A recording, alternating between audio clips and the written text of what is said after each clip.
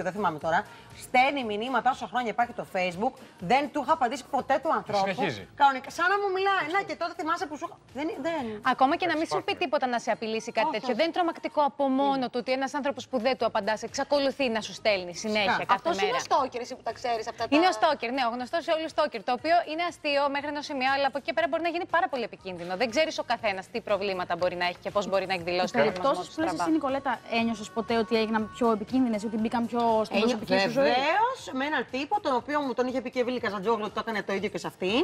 Τι έγινε διότι στο ήρθε συμβεί, έξω το Μακεδονία TV και έβγαζε φωτογραφίες στην Ίσοφο ότι είναι απ' έξω, παιδιά. Όταν ήμασταν στη Θεσσαλονίκη.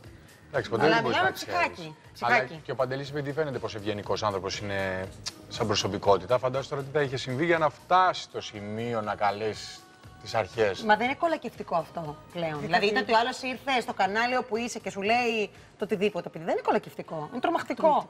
Είναι, ναι, είναι, είναι αυτά που βλέπουμε στις ταινίες που καταλήγουν και την κυνηγάει την άλλη στους δρόμους και όλα αυτά. Και να σας πω και κάτι, μην ξεχνάτε και τώρα ανεξαρτήτως της δουλειάς σας, μπορεί να δουλεύετε και στην τράπεζα και να έχετε στόκερ. Ξέρω γυναίκα που τους έχω κάψει τα μάξι. Να πηγαίνετε οπωσδήποτε στην δίωξη ηλεκτρονικού εγκλήματος, γιατί αυτά τα περιστατικά πρέπει να είναι γνωστά στην αστυνομία. Γιατί άμα γίνει κάτι χτύπα ξύλο, είναι καλό το ότι μπορεί να έχει γίνει ήδη η καταγραφή του γεγονότος.